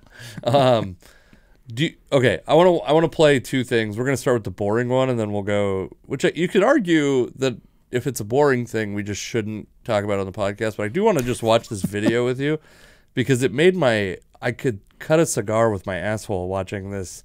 It's Jordan Spieth making this shot. I think he made it. It was uh, last year. We got to sit through a. Uh, an ad here. Apparently, ESPN Plus they still have to uh, sit through ads, but um, anyway, the, so he's gonna make this like very daring shot. This he hits this ball here. We'll put it in. So wait till they show like the drone footage. Yeah, there's. guys, this is a scary Here, I'll, I'm gonna start He's got a good stance, and So this doesn't make it look. This is terrifying. Guys, Yeah, this he could fall off this cliff. normally, Yeah. This is downright I, terrifying right I. I don't think I could do that, to be honest. I went over and took a stance, and it is, yeah, it's scary. Yeah, well, he has been oh, battling. I would be pissing my pants, literally. Well, we haven't. I'd probably tell my caddy to stand closer and grab me if anything goes awry. stable. Try and go back full backwards. That was a smart move. So I'll be honest, I was watching him more. So than the anyway, ball. they interview him after this, and he regrets doing it. His, his caddy told him not to. He regrets doing it, um, for obvious reasons because he was standing at the top of a fucking cliff. I'm scared of heights, so for me, this is like immediately would if I had done this, it would be the dumbest. There's I'd probably do it, but I'd you think you would do it? yeah, yeah. It- but but but Well, here's the question though, because they're changing this because they're moving their line back because people are recreating this shot. They're taking this like risky shot. someone's like gonna patrons. die. Right. Someone's gonna die trying this shot. now. Exactly. Yeah. So now, in if you're playing in, and also by the way, this is the Pebble Beach Pro Am. This is not the Masters. This is not the PGA Championship. It's the Pebble Beach Pro Am. Yeah, I get it. And uh, I, I mean, I. It's So- one of those things that like it. It doesn't when you're actually the one doing it when you can't see the drone footage and this dude's like inches from falling off a cliff when he takes his shot. Like when you when you don't have that angle, it doesn't look that bad. Like I'm sure to him, it didn't seem that bad. Like there's a cliff there, but I've got a foot between my foot and the edge of the cliff. I'll be fine. Like I think I let me. I think his quote might be later on in this. Uh, um, yeah, he said, uh, "I think I saved a stroke. Uh, does the reward outweigh the wi- yeah. Does the ro- reward outweigh the risk? Not if you think the risk was dying, but also, not if you think the risk. That's a pretty big risk. also I felt I could whack it over the water with a seven iron and get up near the green." And I thought up near the green would be easier hitting a seven iron from than from ten yards back. I'm Okay, like, can I tell you the most annoying thing about golf, real quick? Yeah, go ahead. It's how every golfer likes to explain their shot in excruciatingly Yes. boring detail. It's like, what happened? Well, I had a par. But that's not the end of the story. They go on for 15 minutes about how they got the par. I don't give a shit. No one gives So a shit. So should I keep reading this whole thing? Is that what you're saying? Say- so anyway, that's just like I the the shot itself. Uh, what is the dumbest thing? What's the like biggest risk you've ever taken in sports? I mean, by the way, last I'm going to tell you Probably mine because sack tap last yeah, okay, I was going to say that's that is flirting with danger. Because mine is, I remember the guy. I actually, anytime I do comedy in Enumclaw or Buckley, Washington, I say his name to see if people know who it is. Okay. Because I threw a ball at a guy named Tyler Slosson's head when I was playing high school baseball because he was a dickhead to our team. Don't get me wrong, but. I threw a ball at his head, which is dangerous for him and dangerous for me because I actually hit a guy once in a in an invitational tournament, Mm-hmm. and my uh, my baseball coach at the time was this dude. His name was Mr. Cooper. He went by Mr. Cooper. He wasn't not the Mark Curry Not one. hanging with. No, There will be no hanging with this Mr. Cooper. but he was he specifically went by Mr. Cooper in the staff directory. It said Mr. Cooper. People found out his first name, and when if you called him by his first name, you were like suspended basically. But this dude was the man. He's he actually passed away uh, uh, five six years ago. So you piece of shit for laughing at him. Wow. Oh, I'm Uh, sorry. But he I threw a curveball like a big swinging curveball that hit a guy in the back. Yeah. Like it was so slow that I was like, oh, I I didn't even consider the guy could be mad, and that my coach like cut him off charging the mound. yeah. And but Tyler Slauson, I threw a fastball at his head on purpose. I was Yeah. trying to hit him in the head. I missed, or he dodged it, whatever. But uh, that's probably the most dumb thing I've ever done. Sack tap is like I think that's like throwing a punch in a baseball game. I mean, it's like yeah, it's pretty much right up there. I man, most of the dumb things I've done uh, have been at the rec league level. When I was in high school, I was pretty straight and narrow.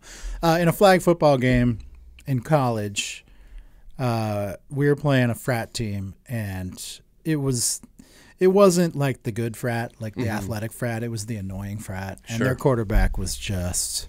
I mean, he was the worst. He was just talking, but he wasn't very good. But he was he just wouldn't stop talking shit. And about towards the end of the game, we had a big enough lead that I was like, I can comfortably get thrown out of this thing. Oh yeah, I just noticed this camera's off.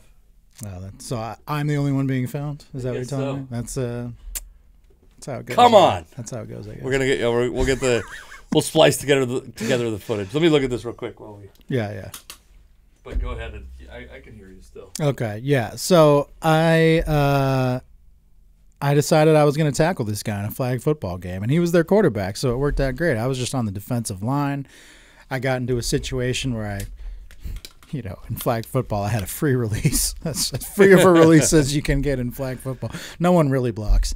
But I just laid this dude out. I mean, I hit him with everything I had. I just put everything I had into it. It was a dick move. I'm not gonna lie, because you never see it coming in flag football. So you're not like I'm sure he saw me running towards him and like like okay he might get my flag but that's about it and i just like leveled this guy and i'm a big i'm a pretty big dude even back then Sure. like i was i hit him hard and he was pissed and he came up swinging he was throwing punches as soon as he got up and you know we both our teams separated us i was immediately ejected i earned it like i knew i was Yeah. going to be ejected for this but i was a couple of guys on my team were very disappointed in me, rightfully so. A couple guys said it was the most awesome thing they'd ever seen. so I was like, I, you know, everybody's happy. I Can't guess. win them all, you know. Can't, No, can't win over can't. every constituent. That's probably the dumbest thing I've outwardly done besides the sack tap. Gotcha. All right. So now the last one, dumb thing at a sporting event is uh so th- this is like a crazy oh Jesus Christ. what the fuck? We gotta turn the volume down. Oh my god. Uh this is at the Waste Management Ah, Phoenix yes. Open. A great Crazy- sport. Yeah. Uh Phoenix, great place to be in February. Yeah. Um The waste management is notorious. I've had a lot of friends who have gone as spectators to this thing, and they say it's just, it's like if a tailgate took over an entire sporting event, Sure. basically. Yeah. Okay, so we're gonna watch this streaker because Oh, yeah, this is the. Do you, do you remember we've had this like interesting window of where streakers used to be they would televise them, Yeah. and then as though they were serial killers, they're like we don't want to ha- we don't want to promote this behavior, so we're not going to show them on TV. Yeah. It's And then. What happened after that is everyone has phones, so we're all going to see. Not only are we going to see the streaker, we're going to see 15 different angles, and we're going to see his actual cock. We're not going to see it here. But like in, in real life or on the internet, you can find like Let's go! So it says 19th hole. He's wearing like a denim speedo. As far as streakers go, he's definitely good. He's good. crushing it, He's dude. a good streaker, man. Oh. Mullet, sunglasses. The 19th hole is. I when I first saw this, I thought it was hilarious. Yeah. And then have you ever seen a streaker evade security this well?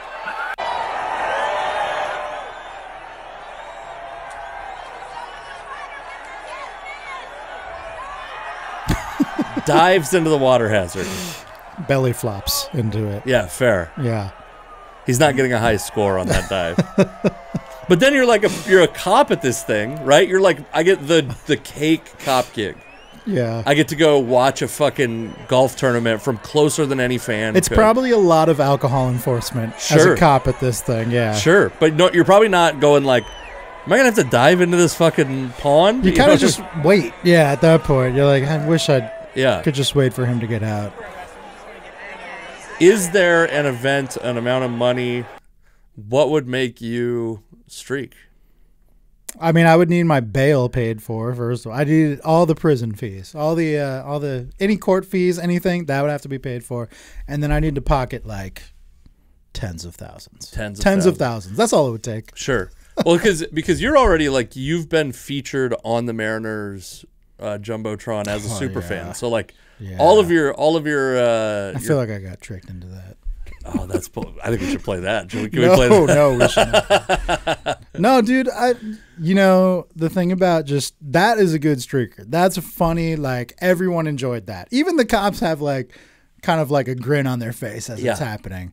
Now it, you're right though. The TV broadcast man, they treat every streaker, every field runner like they are an international terrorist. Yeah, And exactly. they have like everything when they're not showing it, they have to talk like this is the worst thing that's ever happened to them. Yeah. They personally are scarred. How will they explain this to their children? Also, this streaker found the perfect event to streak at because if you streak at a football game, there's a chance Yeah. there's going to be a fucking strong safety that takes you out. Yeah, that dude But- got laid out by Bobby Wagner earlier yeah, this season. Yeah, yeah. I don't think you're going to have fucking Scottie Scheffler yeah.